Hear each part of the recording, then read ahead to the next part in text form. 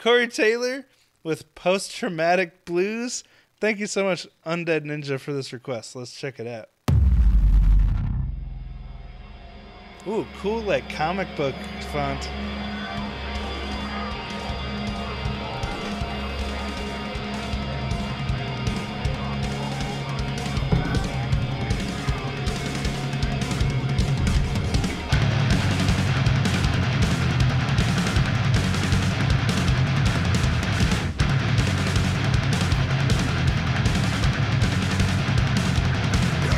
Okay, I gotta say, I really dig these drums. Really cool. Like using the tom, snare, and double kick to do those quadruplets.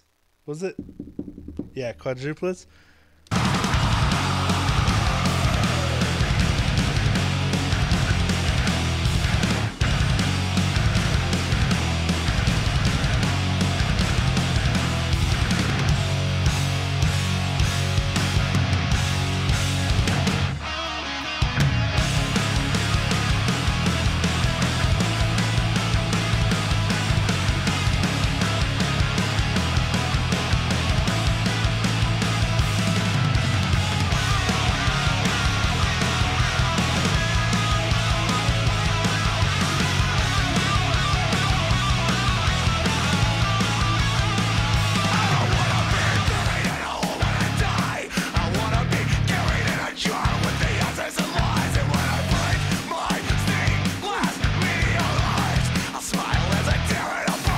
Cool chord change.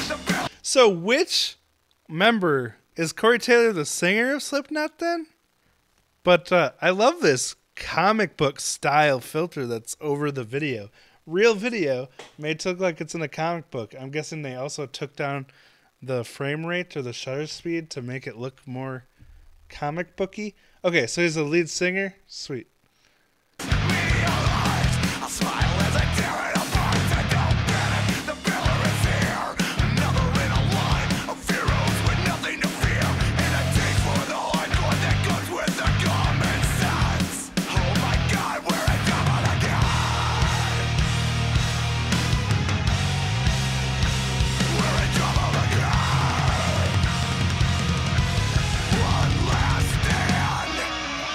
That pre-chorus, the bass notes in context with the guitar chord change-ups were really interesting there, giving the chords a really different feel than if it was playing the root note. So Undead Ninja says, I think this is one of his heavier, more heavier solar songs.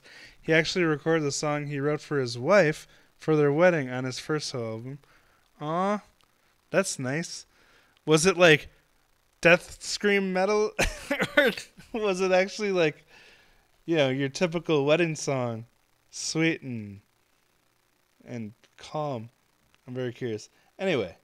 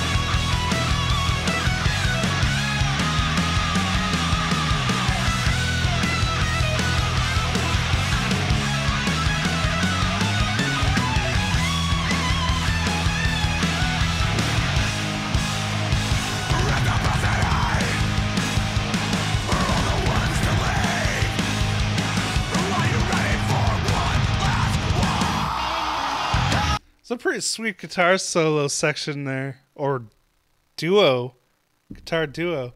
Um, the bass work too in that part leading up to I can't remember where it was. It was really interesting.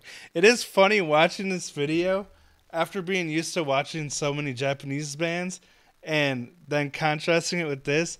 Like it's like American bands just seem so much more self indulgent in their videos and stuff than you're used to seeing Japanese music. Because pretty much any Japanese band I've ever watched is pretty humble, pretty like, you know, there for the music, but then you like have the stick twirling and the the crazy crowd moves and stuff.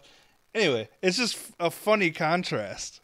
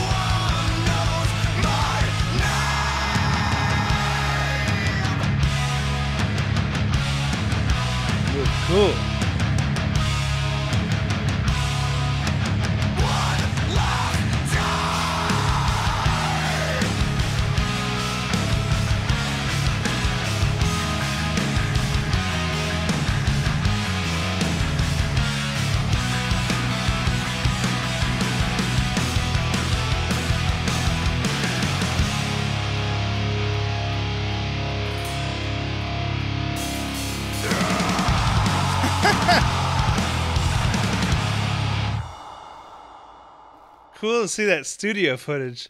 Guessing that's like from the production of the song. Very nice. I mean, it's not what I'd typically listen to with all the screaming, but there's some really cool guitar work, really cool drums in there. And yeah, who mentioned that? The vocals. It, I mean, it's a singing style that most singers can't pull off. That power, growl sounding, gritty vocals. Pretty sweet. All right. Well, thank you so much, Undead Ninja, for sharing that with us. Also, I've got some exclusive live music and anime reactions over on my Patreon. I just finished reacting to Bocchi the Rock, and now I'm starting Cowboy Bebop. I do exclusive live music reactions, and I've covered everyone from Band-Maid, Babymetal, Love Bites, Nemophila, Gacharic Spin, that you can find only on my Patreon. And you can also make your own requests for videos I react to. So go check that out, and I'll talk to you next time.